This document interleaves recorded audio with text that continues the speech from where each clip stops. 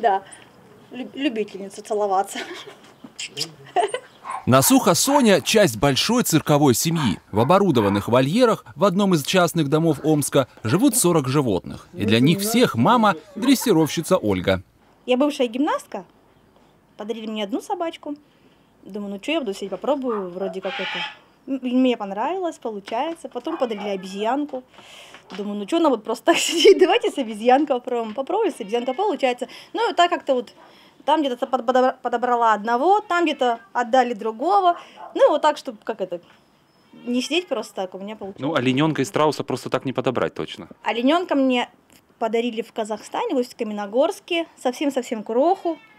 Мама не стала просто у него, и вот, и мне говорит, забирайте его, или мы его скушаем. Я его забрала, четыре дня с ним спала, на улице, вот прям в вольере, пока он не подошел ко мне, не лег возле меня и не принял. Сейчас хотя у него мама. Вот сколько раз я был в цирке, никогда не удавалось покормить животных. Ну, здесь, как говорится, вот самое любимое лакомство олененка Бэмби – это печенье. Подожди, подожди, я тебе все отдам. Держи, держи, держи, держи, держи. Надеюсь, из меня в будущем получится хороший дрессировщик. Приятного аппетита тебе. Бэмби, как и другие животные, вот уже который месяц сидят без работы. Еще в январе этого года они вернулись с гастролей из Казани. Пару месяцев планировали отдохнуть, но отпуск затянулся. Ну вот мы последние гастроли отработали, вроде как собрали ну, деньги на, на кормежку у нас было.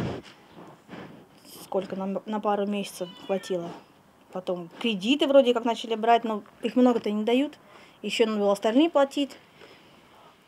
Ну все, как бы заканчивается, мне предложили, попробуйте сделать клик о помощи.